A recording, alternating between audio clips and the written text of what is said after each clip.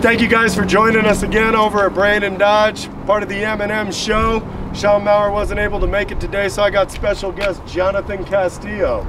Um, what we're gonna do today is go over the uh, new 2018 Dodge Challenger GT all-wheel drive. John, you want to point out a couple of features and then we'll take it from here.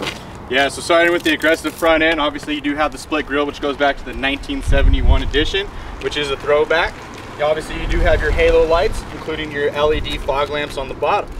Um, once you get under the hood, the V6 is available for your GT.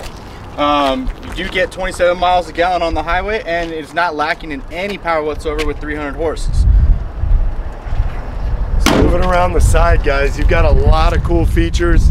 Um, looking at the styling, this is one of those nostalgic cars. It's not really in the sports car class, it's a muscle car. It's a big body car that fits five people. It's got five seatbelts, but it's got the original body lines. It's got the look.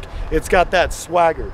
It's also got your phantom black aluminum painted wheels, your four-wheel disc brakes with advanced ABS electronic stability control, and all-wheel drive with all-speed traction control one of the most stable and best handling vehicles of its size in the industry. And if it fits in the sports car class, still really good handling with that near 50-50 weight distribution. Coming around the side, this is that Redline 3 Tri-Coat, probably the nicest paint job that Chrysler offers on a vehicle. You've got keyless enter and go. You've got the power folding mirrors, Inside, you've got a couple of your safety features. This one has advanced safety features like your adaptive cruise control, your forward collision warning with full stop, your uh, lane departure warning, along with your blind spot monitoring and your rear cross path detection. Looking inside, it's got a stylish interior. We'll go over that in just a few minutes.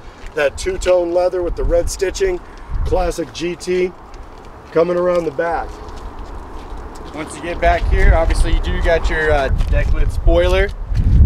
With big enough trunk, you fit about three or four bodies back there in case you needed it. Um, once you look at the tail lamps, again, they did split the tail lamps again. Um, again, that's another throwback. They went to the 1971 edition. It does include your backup park sensors in case you don't hit anything, including your garage. It does got your split exhaust with your chrome tips on the back there for you.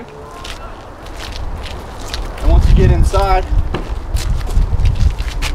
obviously from your two-tone leather with your red, st red stitched interior.